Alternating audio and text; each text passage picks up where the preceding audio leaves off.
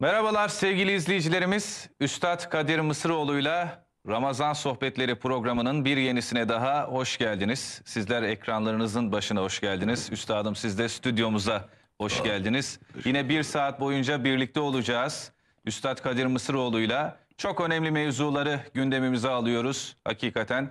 Bugün İslam dünya görüşü ve prensiplerini konuşacağız ama bir alt başlık açarak mücerret prensiplerine değineceğiz. Orada kalmıştık üstadım en Mücerrette son. çok, müşahhas da çok. Evet, Kategori. ikisi de çok fazla. Bu İslam Dünya Görüşü kitabında Bundan evvelki Hı hı. sohbetimizde sırf başlıkları itibariyle bunları Evet. tadat etmiştik. evet, Seyircilerin hatırlayacağı üzere iki kategori temel prensip, temel umde var İslam'da. Bunların bir kısmı mücerret. Kemalistçe ile soyut. soyut. Türkçe ile mücerret. Müc- Bir kısmı da müşahhas. Evet, o da somut. Kemalistçe ile somut. Evet, Şimdi bu iki kategoriden müşahhaslardan değil mücerretlerden başlıyoruz. Çünkü evvela iman sonra amel. evet, Amel müşahhastır, iman mücerrettir. Binaenaleyh ben de tercihimi bu esas dahilinde yaptım. Seyircilerin hatırlayacağı üzere İslam bir dünya görüşüdür. Dünya görüşü vasfıyla onu kavramak her Müslüman için gerekli bir hususiyettir.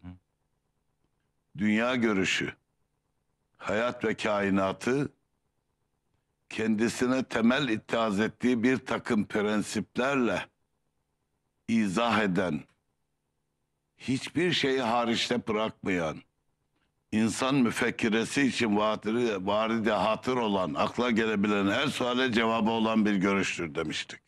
evet, İnsan müfekkiresi için akla gelen suallerin pek çoğu mücerrettir. Müşahede ettiğimiz aleme dair de insan tecessüs sahibidir. Bu neden oluyor, bu nasıl oluyor vesaire ama mücerret düşünme meyli insanda fıtridir. Nereden geldim, nasıl oldum, ölümden sonra ne olacak? Bunlar hep mücerret işlerdir. İslam dünya görüşünü dedik. Üç cümleyle özetleyelim.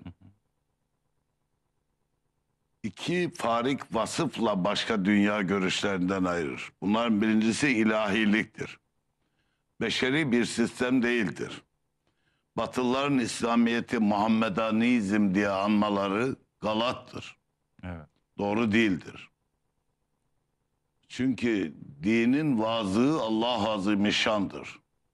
Şari azam yani şeriatın kaidelerini, İslam'ın kaidelerini koyan büyük varlık Allah'ın bizzat kendisidir. Bu iki suretle varit ve vaki olmuştur. Vahyi metlu yani tilavet olunan vahiy. Bu Kur'an'dır. Gayri vahiy, gayri metlu, vahyi gayri metlu ise Peygamber aleyhissalatü vesselama bildirilendir. Mesela ayette ve yakımın salate ve atiyüz zekat buyurulur. Namazı kılın, orucu tut, zekatı verin. evet, Ama nasıl? İşte o nasılın cevabı vahiy gayri metlu ile. Peygamber benden gördüğünüz gibi kılınız der. Allah Azimüşşan sıfat itibariyle camül ezdattır. Camül ezdat olması sebebiyledir ki kainat da sıfat tecellilerinden vücuda geldiğinden bu zıtlık asıldır. Bertaraf edilemez. Bu zıtlığın temerküz ettiği bir varlık insandır. İnsan yarısı melek, yarısı şeytandır. Melekler bizim dünyamıza ait değildir. Onlar sade hayra memurdur. Onlarda zıtlık yoktur. evet, Ama insan yarısı melek, yarısı şeytandır. Bu vasıfla teçhiz edilmelerinin sebebi onların imtihan olunmak üzere yaratılmış olmasıdır. İmtihan olunmak isteyen bir varlığın Allah'ın emrine itaat kendisi için mecburi olmamalı, ihtiyari olmalı ki aksine de hareket etme selahiyeti olsun. Bundan dolayıdır ki Allah Azimüşşan bir de böyle bir kategori varlık yaratmayı düşündüğünden insanları irade ile teçhiz etmiştir. Sadece insanlar ve cinlerdir ki irade ile mücehezdirler. Onun için İslam'ın insana bakışında ilk anlatmamız lazım gelen prensip iradecilik prensibi yahut Frenkçe tabirle voluntarizmdir. Evet. İnsan irade sahibi bir varlıktır. Bunun iki delili vardır. Birinci delili ayetle, hadisle teyit edilmemiş olmakla beraber Allah Azimüşşan ruhları yarattığı zaman bak daha Adem yok. Sade ruhlar. Ezelde ruhları yarattığı zaman onlara iki secde emretmiştir. Evvela sormuş. Elestü bi rabbiküm. Ben sizin Rabbiniz değil miyim? Cevap ne olmuş? Galu dediler bela. evet. Bir Müslümana ne zamandan beri Müslümansın diye sorulduğu zaman galu beladandır beri der. Evet. Bunun sebebi ruhlar aleminde bu ikrarı yaptık. İslam'ın bize öğrettiği birinci gerçek budur. Galu bela. Evet dediler. Allah Azimüşşan bu ikrarı fiiliyata dökmek için bak amel ikinci derece. İki secde emretmiştir. Bu iki secdeyi kimi ruhlar ikisini de yapmıştır. Kimi ruhlar ikisini de reddetmiştir. Kimi ruhlar birinciyi yapmış, ikinciyi yapmamıştır. Kimi ruhlar birinciyi yapmamış, ikinciyi yapmıştır. Beşeriyet bu alem ervahta olan işi bu alemde meşhud olarak görmektedir. Burada gerçekleşmiyor. Aynen bir e, dizi film düşün. Evet. Sen onu seyrederken o anda oluyor zannediyorsun. Halbuki o çok daha evvel olmuş. Sen Evet. onun görüntüsünü seyrediyorsun. İşte alem ervahta olan iş böyledir. Bunu ben çok söylüyorum. Her kitapta yazmaz. Diyorlar ki efendim böyle bir şey yok. Evet ayetle hadisle teyit edilmiş. Bunu size gösterebilirim. Bu Alusi tefsirinde izah edilmektedir. Bunu ekrana gösterirseniz Evet, isteyenler arkadaşlarımızdan internetten Alusi tefsirinin bu sayfasına bakabilirler. Burada Arabi ibare bu hikaye anlatılmaktadır. Allah iki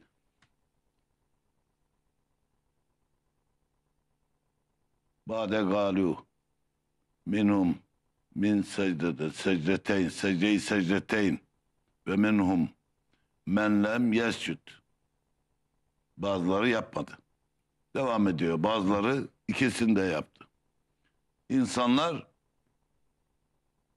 yeryüzünde dört kategoridir. Şimdi bir çocuk Müslüman bir ana babadan dünyaya geliyorsa Evet. bununla sabit olmuştur ki ruhu birinci secdeyi yapmıştır. Hmm. Bir gayrimüslimden geliyorsa onunla da sabit olmuştur ki birinci secdeyi yapmamıştır. İkinci bilinmez. O hayatta vaki olduğu zaman anlaşılır. Allah Azimüşşan kaderi meçhul kılmıştır. Bunun hikmeti insanlar kadere vakıf olsalardı muzdarip yaşarlardı. Yarım saat sonra bir trafik kazasında ölecek adam o noktaya kadar söyleyerek gülerek gider. Evet.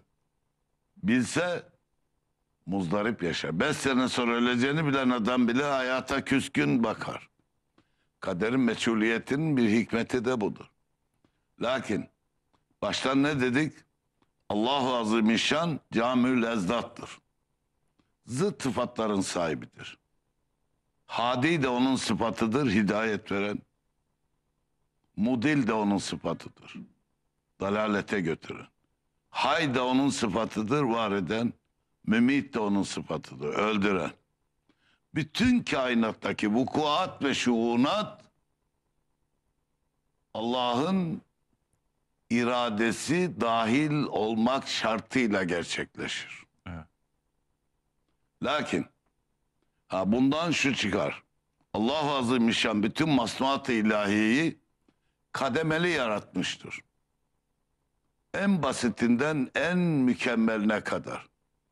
Bu esma tecellilerine bağlıdır. İnsan ekremiyeti insanın mahlukat içinde ekrem olması, eşrefi mahlukat olmasının sebebi Allah'ın bütün sıfatlarından nasip almış olmasındandır. Sade insandır ki Allah'ın bütün sıfatlarından zıt sıfatlar dahil. Onun için insan da şö- şöyle söyleyeyim.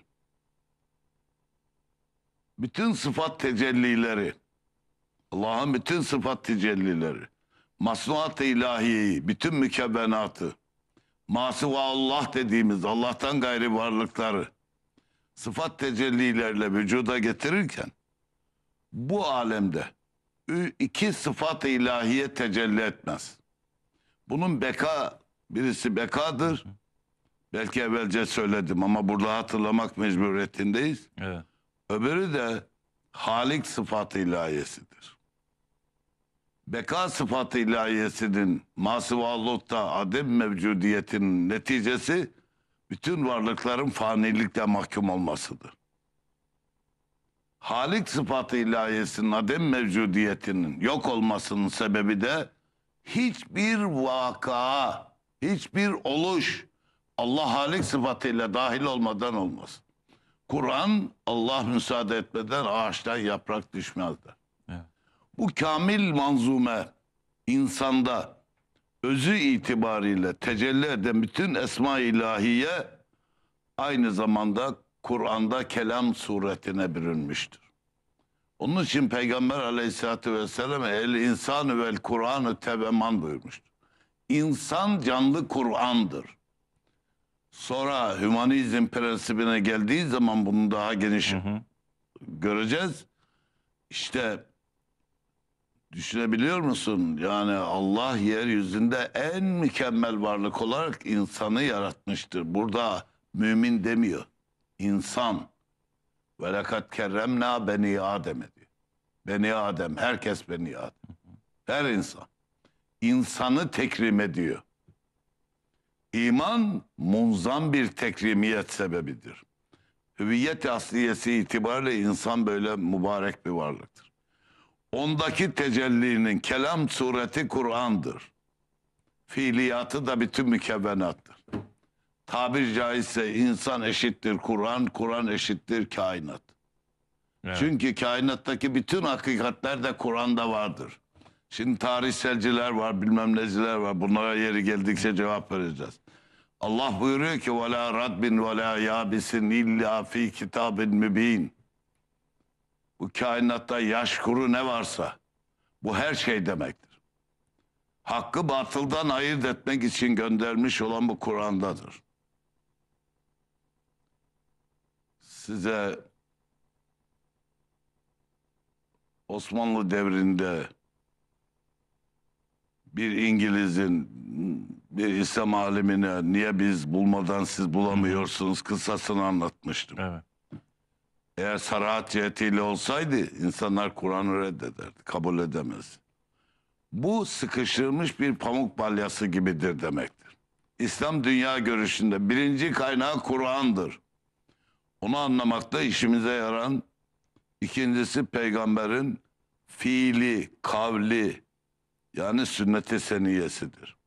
Şimdi insan böyle bir varlık. irade sahibi olduğu içindir ki ona secde emredilmiştir. Secde emredilmesi şu manaya gelir. Allah Azimüşşan insanı ve cinleri, buna cinler de dahildir. Çünkü onlar da iradeyle mücehizdir ve onlar da mükelleftir. Secde aksine riayet etme şansı olmayan adama zaten emredilmezdi. Çünkü onun hareketi bellidir. Evet. Meleklerin Adem'e secdesi Adem'in makbuliyetini meleklere anlatmak içindir.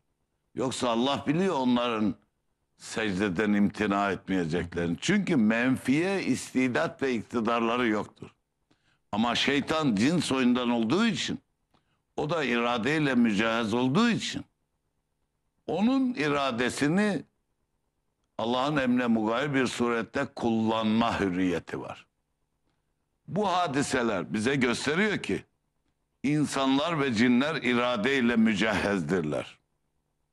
Buna bir başka delil daha söyleyeyim. Buyurun. Müslümanlar kamet getirilirken müezzin eşhedü enne Muhammeden abduhu ve resuluhu dediği zaman baş parmaklarının tırnaklarını öperler. Belki görmüşsün. Evet ve gözlerine Gözlerine sürerler. sürerler. Ve kimisi Türkçesini söyler, kimisi Arapçasını söyler. Nurunla gözlerimi nurlandır ya Muhammed derler. Evet. Bunun dayandığı yer Hristiyanların kabul etmediği bir İncil'dir. Allahu Azimüşşan Adem'i yarattıktan sonra Havva anamızla birlikte meleklere onu cenneti gezdirin dedi. Adem Aleyhisselam ha şunu söyleyeyim. Nasıl bizim peygamberimize ümmetine ders ve ibret olmak üzere geçmiş peygamberlerin hikayesi nakledilmişse bu hikaye Hazreti İsa'ya da böyle yapılmıştır. Adem kıssası orada da vardır. Kabul etmedikleri İncil'lerden birinde bu hikaye vardır. Adem cenneti gezerken nurdan mahya gibi böyle anlatabiliriz. Boşlukta bir yazı gördü. Işıkla yazılmış bir yazı. Bu yazı La ilahe illallah Muhammeden Resulullah idi. Adem dedi ki bu ne mübarek şey, ne parlak bir şey. Bu nedir? Melekler Allah'ın bildirmesiyle ona dediler ki senin sülbünden en son ve en şanlı bir peygamber gelecek. Bütün enbiyanın reisi olacak. Bu onun te- kelime-i tevhididir. Ne olaydı ne olaydı ben bunu her istediğim zaman göreydim dedi. Öyle bu cennette boşlukta. Evet. O zaman Allah'ın bildirmesiyle gene melekler ona dediler ki tırnaklarının baş parmaklarına bak. Baş parmaklarının tırnaklarına bak. Baktı ki yazı burada yazılı. Onu üç defa öptü gözlerine sürdü. Nur kelimesinin Arapçada bir manası da ışıktır. Gözümü nurlandır, aydınlat, ışıklandır manasına. Bu İncil'e dayanır. Müslümanlar arasında halen caridir. Şimdi Adem Aleyhisselam bunu anlatmaktan maksadım şu. Eğer, eğer irade sahibi olmasaydı melekler gibi zelle vaki olmazdı.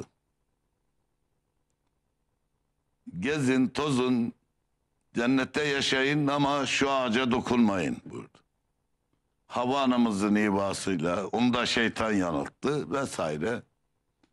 O meyveden yediler. Cezaen dünyaya gönderildi. Şimdi eğer irade sahibi bir varlık olmasaydı Adem zelle irtikap edemezdi. Çünkü bir makinayı düşün nasıl kurulursa ona göre çalışır. Melek mahsa hayır için yaratılmış. İnsan ise hem hayra hem şerre. Ne dedim? Yarısı melek, Evet. yarısı şeytan. Bu hadisede yani Adem'in zelle irtikap etmesi sebebiyle dünyaya gönderilmesi de beşerin irade ile mücehhez olduğunu gösterir. Fakat bu nasıl bir şey? Burada bir devamını söyleyeyim isterseniz bu vakanın. İstitrat kabilinden Adem Seylan adasına gönderildi. Hava anamız da Ciddi'ye gönderildi. 40 sene pişmanlık duydu, nedamet getirdi. 40 sene sonunda aklına tırnağındaki yazı geldi.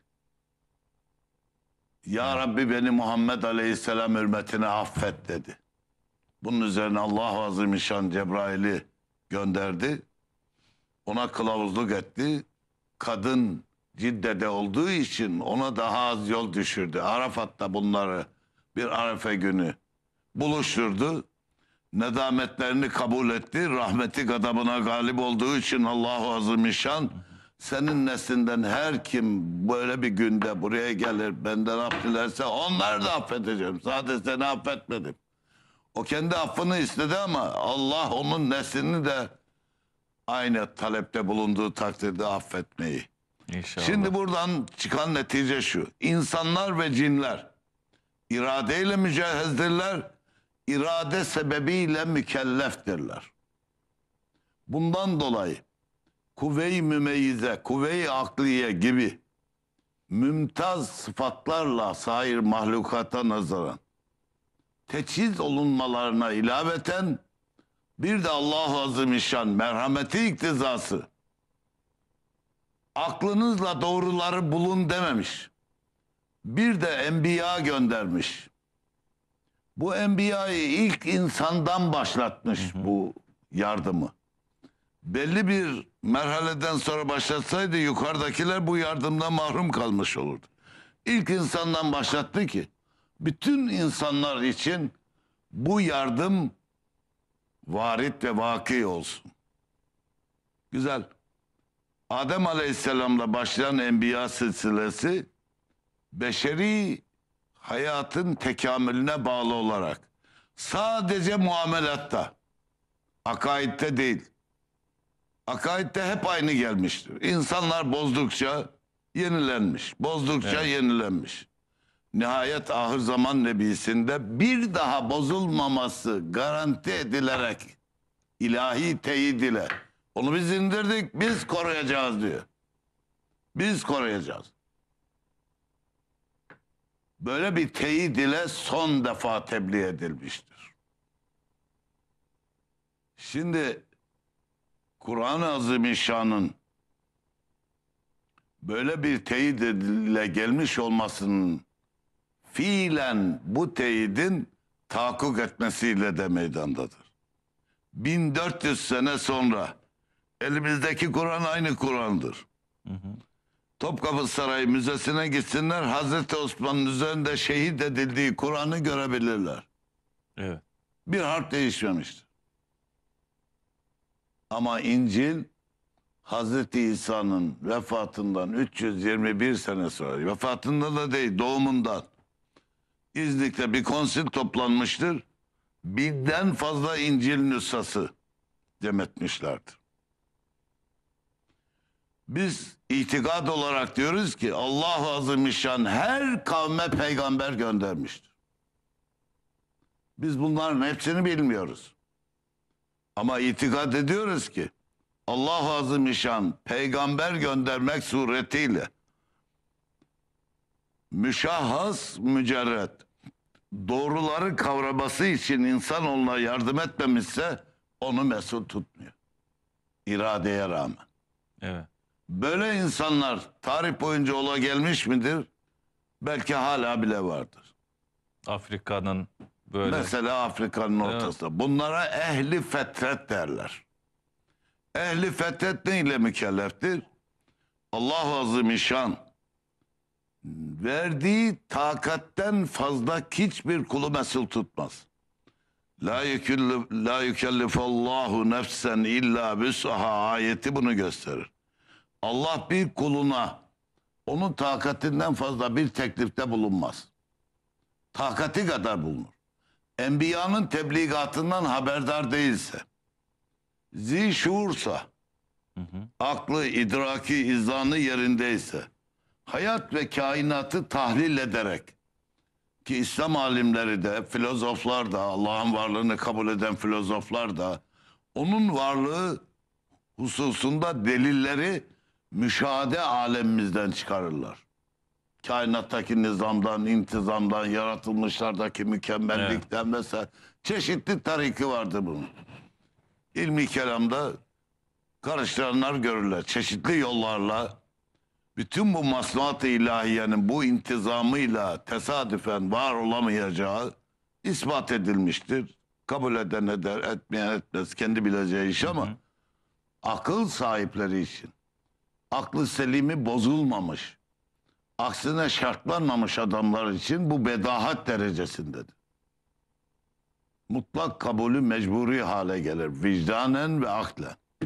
Ölüm, doğum, kainatta olup biten bütün hadisat bunu gösterir. Evet, netice itibariyle o fetret, ehli fetret denilen insanlar neye muktedirse onunla mesuldür. Derler ki İslam alimleri, peygamberin tebligatını duymamışsa, kendisine de bir peygamber gelmemişse, onun eee,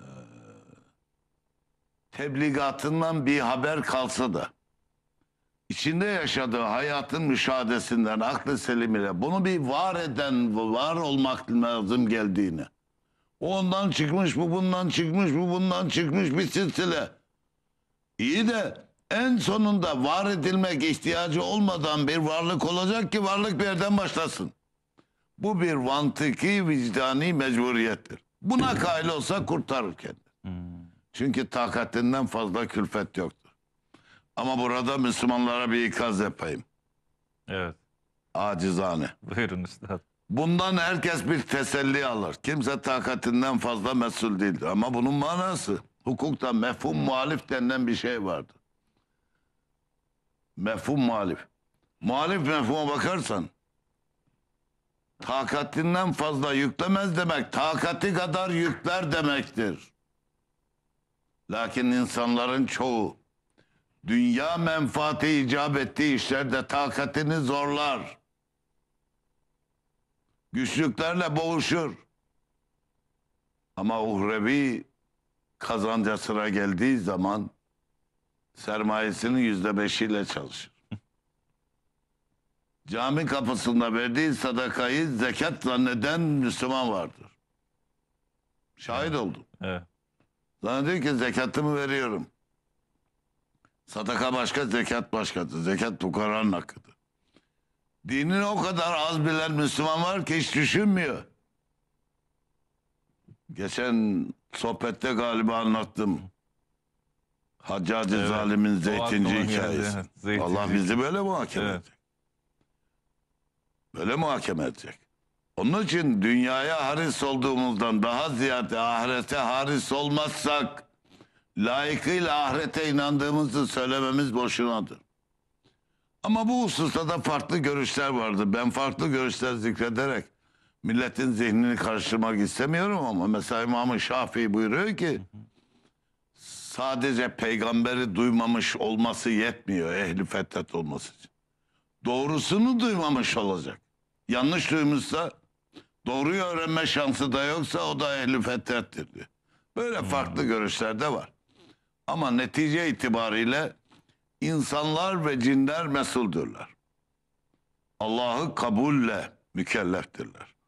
Bu kabulün arkasından onun emirlerine icra etmek gelir. Şimdi Peygamber aleyhissalatü vesselam da bu tebligat-ı ilahiye kemal erdi. Bu kemalin de iki veçesi vardır.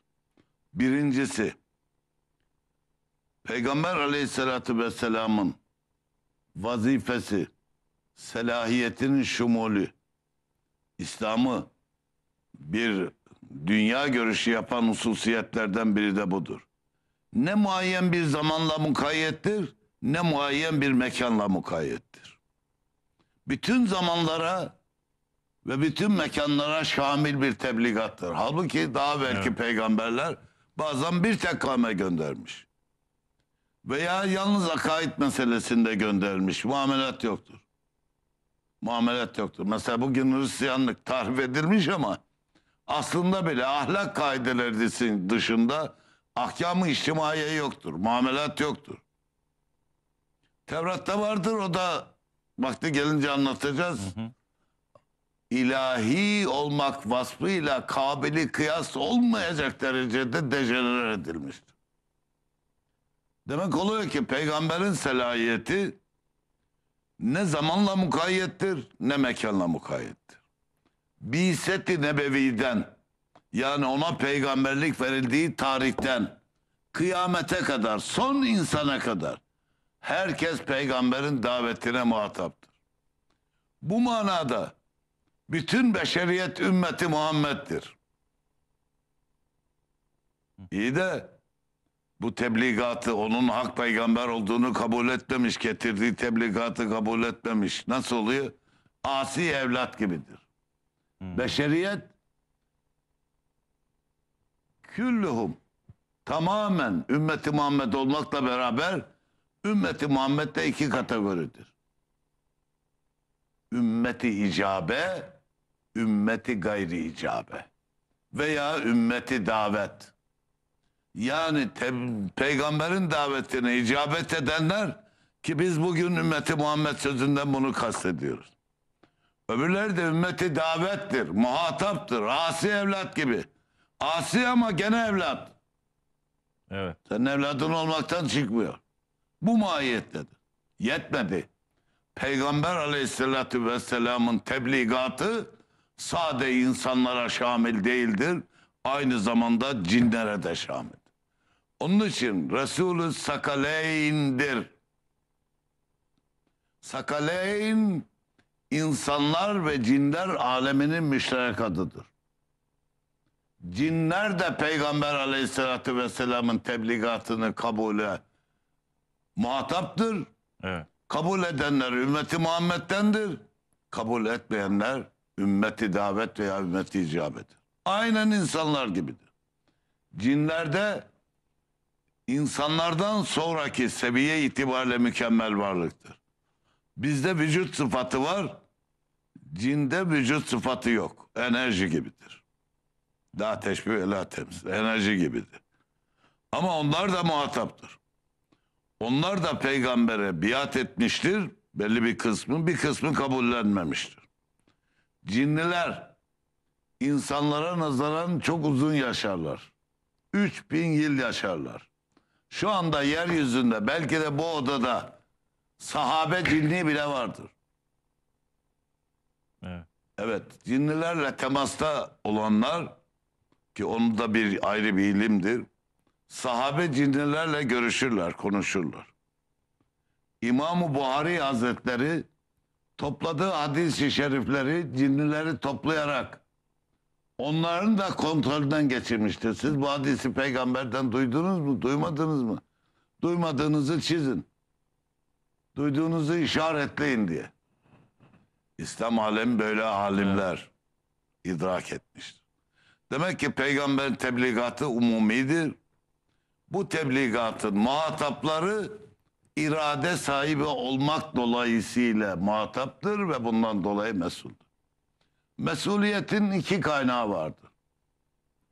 Yani irade sahibidir de sade irade sahibi olması yetmiyor.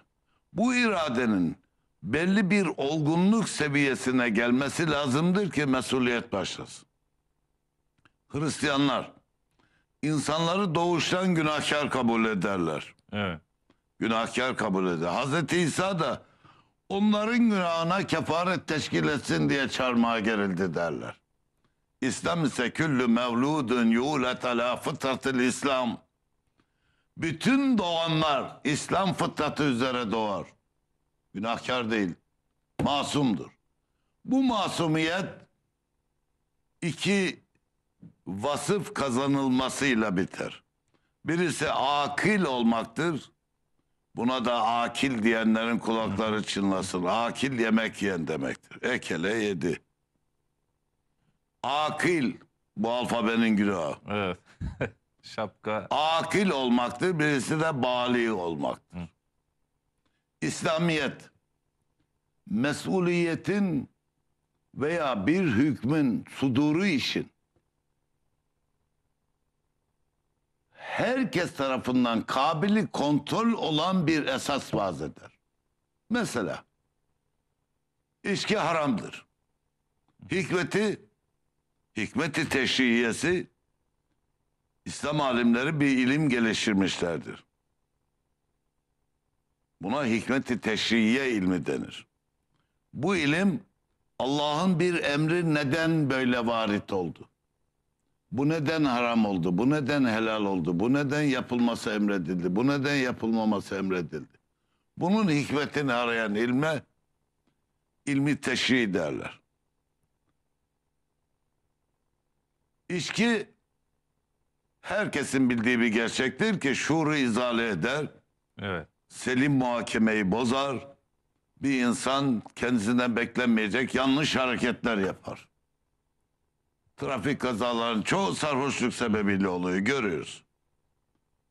Güzel. E o zaman sarhoş oluncaya kadar içebilirsin. Ondan sonra içmemen demesi lazım. Onun için içmemen lazım demez. Ama ben bu sarhoşluğu nasıl tayin edeceğim? Devrilen bir sarhoş bile sen sarhoş olmuşsun dedi. Hayır olmadım der. Evet kabul etmez. Kabul etmez. Çünkü orada bir fiili kıstas yok. Eskilerin bir tabiri vardır. Aza sormuşlar nereye gidiyorsun? Çoğa gidiyorum demiş. Baştan kesiyor. Zerresi bile haram. Çoğu sarhoş eden şeyin azı da haramdır. Çünkü orada bir sınır bulamazsın. Bazı adam çabuk sarhoş olabilir, bazısı geç olabilir. Herkesin sinir sistemi aynı değil. O zaman her adama göre ayrı bir ölçü nasıl tatbik edeceksin? Herkesin kabilik tatbik bir usul koyuyor. Bak çoğu sarhoş eden şeyin azı da haramdır. Bitti zerresi de haram. Bunu tayin edersin. Ramazan orucu için hilali gördün tut, hilali gördün boz. Evet. Hesap et de bilmem ne. Hesabı herkes yapamaz. Afrika çölünde adam hesap mı biliyor? Üstelik hesap da yanılıyor. Müşahede yanılmaz. Hesap yanılıyor. Ben Almanya'da yaşıyordum. Belki söyledim bilmiyorum. Haley kuyruklu yıldızı görünecek dediler. Almanya'dan da görünecek. Herkes teleskop ko- koydu. Hesap yanlış çıktı. Haley Avustralya'dan görüldü. Görülmedi. Evet. Netice kul işi hesap. Ama bu müşahhas görüyorsun. Hani affedersin eşeğini istemişler satılırdığında yok demiş komşusuna. Eşek anlarınca hoca demiş ya Sen bana, bana mı mı inan- inanıyorsun eşeğe mi inanıyorsun? Eşek fiiliyat, vaka. Senin sözün laf. Evet. Aynen bunun gibi müşahhas kaydı. Bak bulu başından geçer. Her insan bilir buluğa erdi. Mesuliyet başlıyor. Kuvve-i mümeyyize yani akil olmak buluğdan evvel başlar. Bir insan mümeyyizdir ama reşit değildir. Reşitlik İslam'da İsviçre Kanunu Medenisi'nden muktesep olarak 18 yaşta başlar diye bir şey yok. Reşitlik İslam'da bulu ile başlar. Buluğa erdin demek vücudunun gelişmesi tamamlandı demek. Zaten aklın gelişmesi daha evveldir. Ona kuvve-i mümeyyize derler. Doğruyu yanlıştan ayırt etme buluğdan evveldir. Ama buna ilaveten bir de vücudun gelişmesi tamamlandı mı mesuliyet başlar. Allah Azimüşşan insanoğluna öyle bir şeref atfetmiş ki her insanın sağına bir melek, soluna bir melek koymuş. Bulu vakı olana kadar ne günah yazılır ne sevabı yazılır. Mesul değil. Defter bomboş. Buluğdan sonra yazı başlar. Burada biz voluntarizmi anlatmadan evvel anlaşılması için söylemesi lazım gelen laflara biraz bolduk ama gene bir şey söyleyeyim. Buyurun üstad. Allah Azimüşşan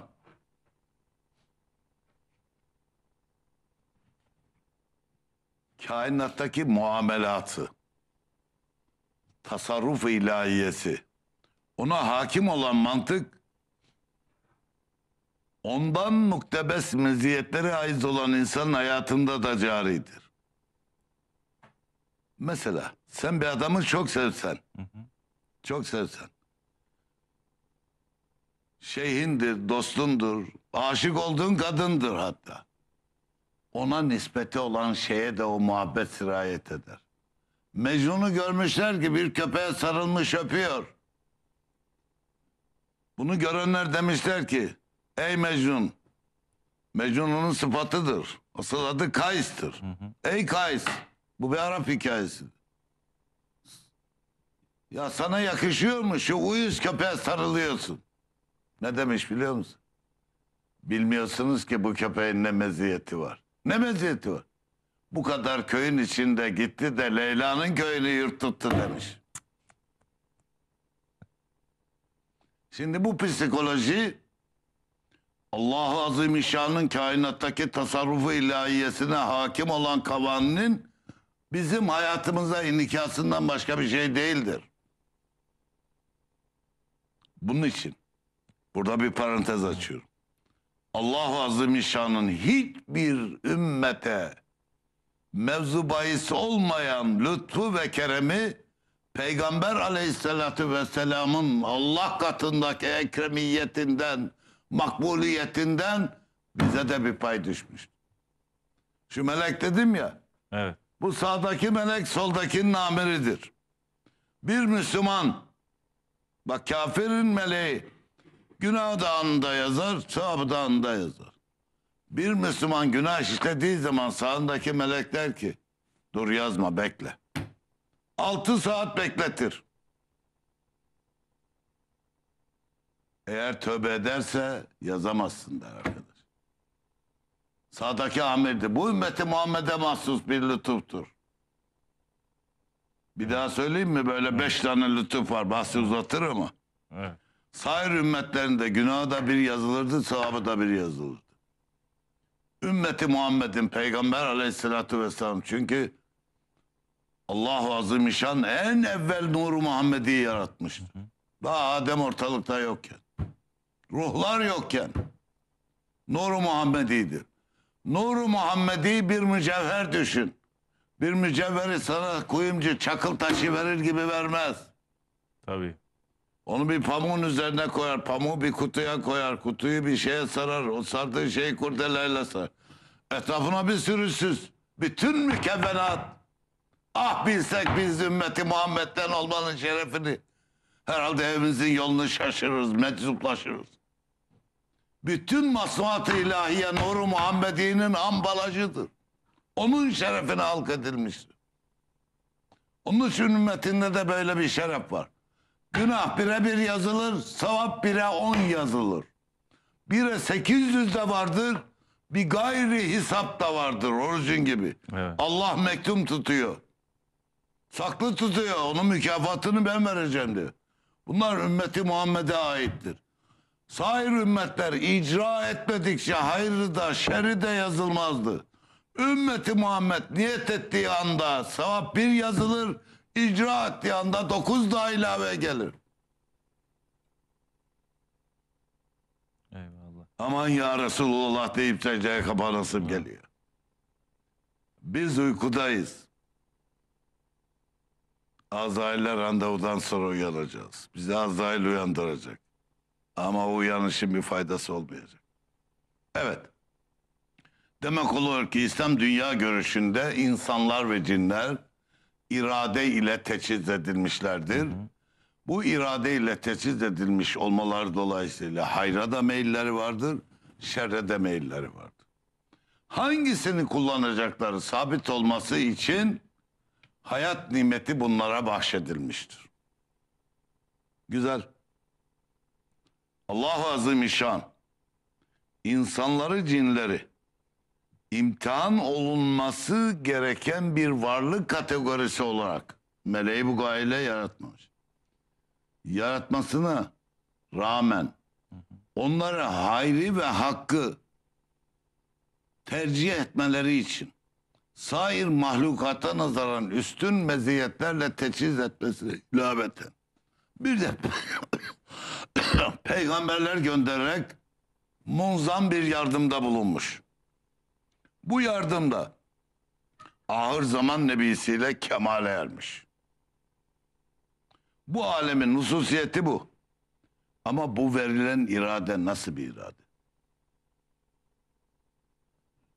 Senin iraden var. İsteyerek mi insan olarak dünyaya geldin? İsteyerek mi insan oldun? Ananı babanı sen mi seçtin? Irkını sen mi seçtin? Huyunu suyunu sen mi seçtin? Ve subhanallah beni ben yapan işlerin, hususiyetlerin çoğu tayin ilahi. Evet. Bana ne kalmış? Bana bir şey kalmış mı? Kalmış. Verilen sermayeyi doğru kullanmak kalmış. O kullanmak için işte o cüz'i irade vermiş. Her ferdin, her varlık olduğu gibi her ferdin mevcudiyeti bütün efaliyle, bütün evsafıyla tayin ilahidir.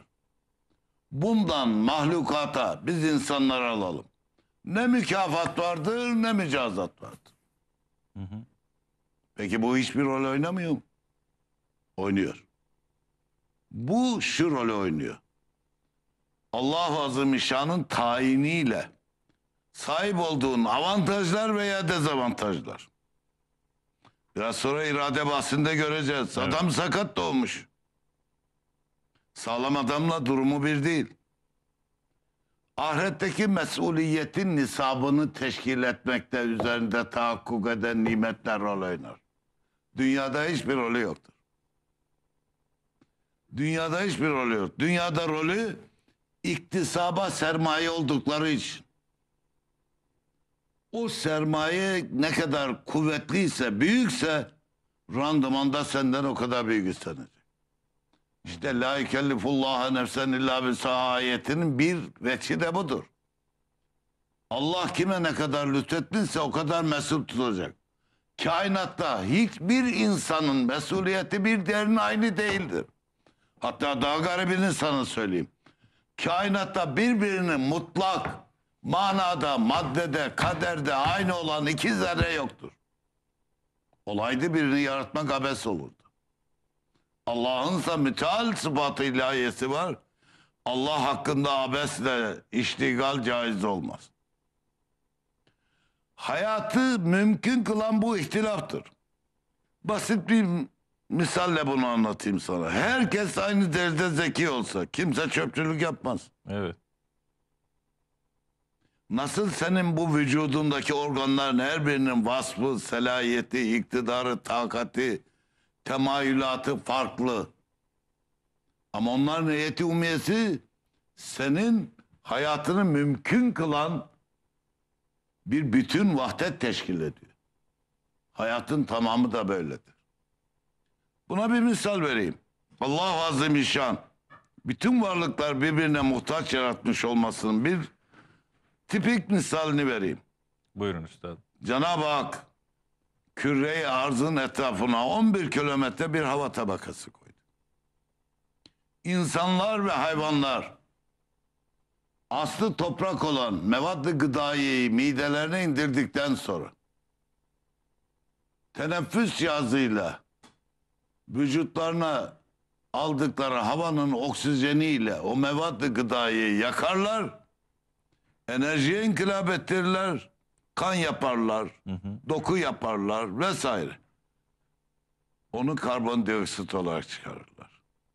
Eğer Allah Azimüşşan ağaçları yaratmasaydı, kainattaki bütün karbondioksit, e, oksijen karbondioksite dönerdi, bütün canlılar ölürdü. Hayvanlar ve insanlar ölürdü. Nebatatı aksine şartlandırdı. Onlar da kökleriyle topraktan indikleri mevad-ı tabiiyeyi hid, hidrojen mi dedim? Hidrojen değil, karbondioksit. Karbondioksit. İhtiyarlığıma bağışla. Karbondioksiti kullanarak yakarlar. Onların şartları öyle. Alıcı cihazı öyle. O oksijeni kullanamaz. Karbondioksiti kullanır, onu Oksijeni. küre arıza oksijen olarak sunur. Oksijen ve karbondioksit devri daim halinde. Ne yalnız insanlar yaşayabilir, insanlar ve hayvanlar bu küre arzda, ne yalnız nebatlar. Bir kategori olsaydı, mesela sade nebatlar olsaydı, onlar karbondioksit bulamazlardı. Hepsini oksijene çevirirlerdi. Ondan sonra kururlar, ölür. Evet. Hayvanlar da aynı durum. Daha başka bir şey söyleyeyim. Küre arzın merkezine bir cazibe, mıknatıs kuvveti vermiş. Bu kuvvet, bu hava küreyi 11 kilometre mesafede belli bir kesafette tutuyor. Eğer küre arzdaki cazibeyi arz, kuvve-i mıknatısiye Merit'teki kadar olsaydı bu 11 kilometre 3-5 santim bir tabak haline teşkil eder. Solucandan başkası yaşayamaz. Onu kendine çeker, teksif ettirir, bir tabak haline getirir. Solucandan başkası yaşayamaz. Eğer aydaki kadar az olsaydı, bu 11 kilometre dağılır giderdi fezaya, ne insanlar ne hayvanlar yaşayabilir. Kainat nizam fışkırıyor bir yaratıcının harika, nazım, hakim, kadir, bir varlığın her yerde mührü damgası var. Velakin ekseren nase la ya'lemun. İnsanların çoğu bakar kör. Bakar kör. Evet. Demek ki Allah'ın tayin ve takdir ettiği işte kainatın işleyişini mümkün kılan sonsuz hikmetler var. Bu ihtilafta böyle bir şeydir işte farklılık. Tek cins bir şey yoktur. Olmadığı gibi her cinsin içinde her fert de kupon kumaş gibidir. Tektir. Bir ikincisi yoktur. Dünyaya belki selbiyyon yılan geldi. Hiçbiri vücut ağırlığında, kaderde, manada, maddede aynı değildir. İnsanlar da böyle değildir. Onun için mesuliyet üzerinde tahakkuk eden niam-ı ilahiye, ilahi nimetlerin onun takati hududunu teşkil eden noktadan başlar. Kimsenin hesabı kimseye eşit değildir. Efendim ben çok çalıştım. Bazen bana diyorlar ne mutlu sana çocuk yaşından beri harp meydanında gibi yaşadın hayat. Ama acaba ben Allah'ın bana lütfettiği takatin beni borçlu kıldığı nispetle yapabildim mi? Bak Allah Azimüşşan ben bu meseleyi bilhassa cihat bahsinde insanları ürkütmesi lazım gelen bir vasıfta söylüyorum. Bazı emirlerin Şartı belli, şurtu belli. Namaz böyledir. Evet. Vakti belli, zekatı belli, rekatı belli, kıraati belli, sünneti belli, vacibi belli. Oruç böyle, zekat böyle. Ama Allah'ın bir emri var. Ve cahidu fi sebilillahi bi envalikum ve enfusikum. Allah'ın dini galip gelsin diye çalış ey insanoğlu. Alimler siz çalışın değil. Zenginler siz çalışın değil. Hüküm umumi. Sade nefsinizle çalışın değil. Sade paranızla değil. Bi envalikum mallarınızla ve enfusukum ev enfusukum buyurmamış. Öyle olsaydı malınla veya canınla. Halbuki malınla ve canınla. Evet. Bazı zenginler zannediyor ki ben zekat veriyorum. İslami hizmete yardımcı oluyorum. Benim işim bitti. Hayır. Bize düşeni de bu kadar diyor. Ha bu kadar diyor. Bu kadar diyor. Halbuki envalikum ve enfusikum. Güzel de buradan doğan borç. Ne ile kaim? Paranı sayarsın. Zekatın nispeti belli, nisabı belli.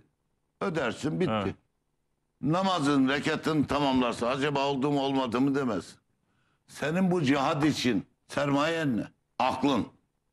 Ölç bakalım. Kantara vur aklını. Cesaretin ölç bakalım. Sağlığın ölç bakalım. Bunda ne kadar borç doğuyor benim için? Bunu bilecek adam yok. Bu Avrupa Birliği'ne Türkiye'nin girme macerası gibi. Ucu açık. Kıyamete kadar gider. Bizim aptallar zannediyor ki alırlar bizi. Almazlar. Bu bir Haçlı organizasyondur. Sen döneceksin İslam dünyası birliği kuracaksın. Buna mecbursun. Onu yapmayasın diye seni oyalıyorlar. Şimdi İslam teşkilatı, ordu vesaire kıpırdanma oldu ya. Şimdi bizler rağbet ederler oradan bu tarafa dönsün diye, buraya ümitlensin Evet. diye. Hepsi aldatmadır. Güzel. Bütün bunları niye söyledim? İrade sahibi olan insanın üzerinde, varlığında bir kısım tayinnat takdiri ilahi iledir. Buna biz kaderi mutlak diyoruz. Lakin akaid itibariyle de biliyoruz ki her oluş kader icabıdır. Kader harici bir şey yoktur. Kader harici bir şey olmayınca Allah'ın takdiriyle olanlardan da bize ne mükafat bu dünyada ne mücazat mevzu bahis olmadığına göre. Ancak ahiretteki mesuliyetimin hesabını ro- e, tayinde rol oynadığına göre. Bizim mesuliyetimiz nereden çıkıyor? İşte bu iradeden çıkıyor. Allah bize bir cüzi irade vermiş. Bu iradeye de belli bir saha açmış. Sen nasıl fiziki gücün her yükü kaldırmaya müsait değildir. Evet. Psikolojin de her keyfiyete takat getiremez. Beynin de böyledir. Bütün takatlidir sana verilen. Mahlukatın hepsindeki takatler hudutludur. Sana verilen irade de hudutludur. Onun için Allah'ın iradesi karşısında ona irade-i cüz'iye derler. Peki bu irade-i cüz'iye neye benzer? Bir tren düşün. Ray haricinden gidebilir mi? Gidemez. Çünkü planlanışı raya göredir. Evet. Her varlığın ha- hayatı içinde adeta kader bir ray döşemiştir. Sen oradan gitmeye mecbursun. Lakin o tren rayı üzerindeki Katar'ın sağa sola 5 santim salınma şansı vardır. Ok düzgünlüğünde gitmez. İşte o salınma şansı senin irade sağdır. Bunu şöyle anlatayım. Bir baba çocuğunu getirse bir oyuncakçı dükkanına. Ona dese ki oğlum sana bir oyuncak alacağım ama oyuncakların bazıları tehlikelidir. Bak şunu alırsan birinin gözünü çıkarsın. Bunu alırsan elini kesersin. Bunu alırsan bundan bir zarar gelmez. İyi eğlenirsin. Babalık merhametiyle bütün oyuncakları evladına anlatsa. Hadi oğlum seç bir oyuncak dese. Çocuk mazarratlı bir oyuncak seçse. Dilerse parayı vermeyerek onun iradesini hakim bırakır. Çünkü çocuğun oyuncağa sahip olması için iki irade lazım. Biri babanın parayı verme iradesi, biri de çocuğun tercih iradesi. Babanın parayı verme iradesi çocuğun iradesine hakimdir. Şuna benzer. Burada elektrik yanıyor. Şehir ceryanı kesik olsa. Sen bunun yanması için düğmeye bas da dur. Evet. Şehir suyu kesik olsa.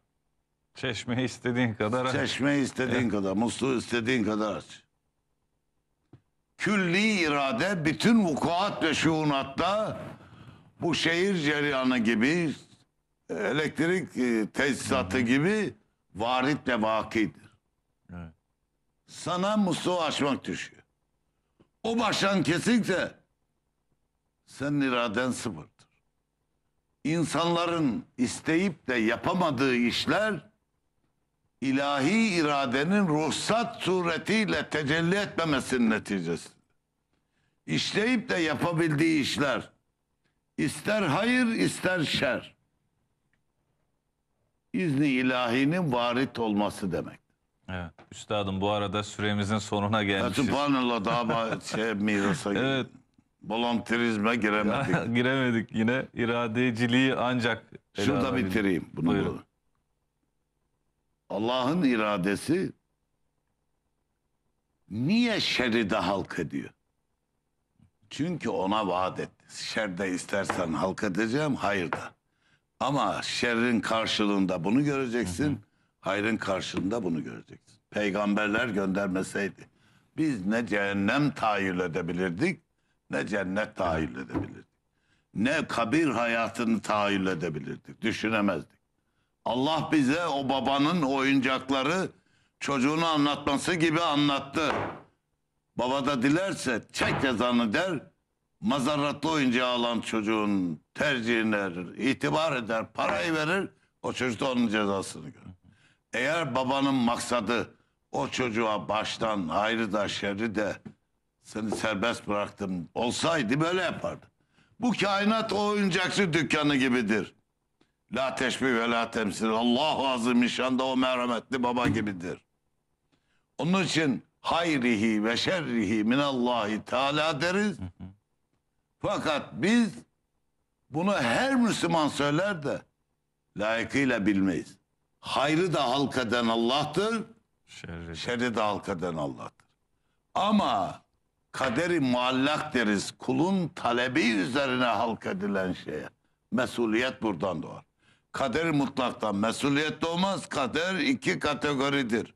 Her vaki ve varit olan şey kader icabıdır.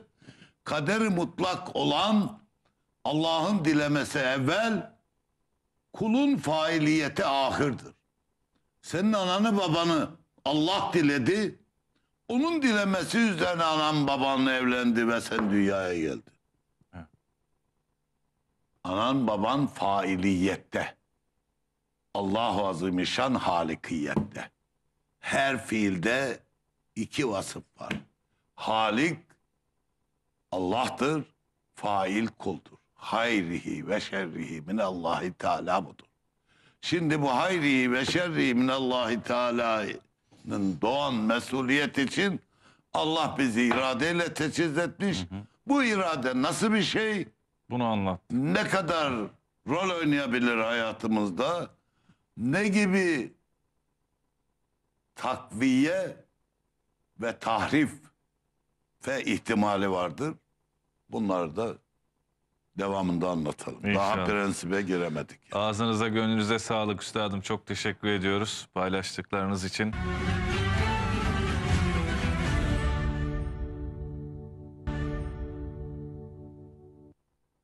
Sevgili izleyicilerimiz, Üstad Kadir Mısıroğlu'yla Ramazan Sohbetleri programımızın birinin daha sonuna geldik.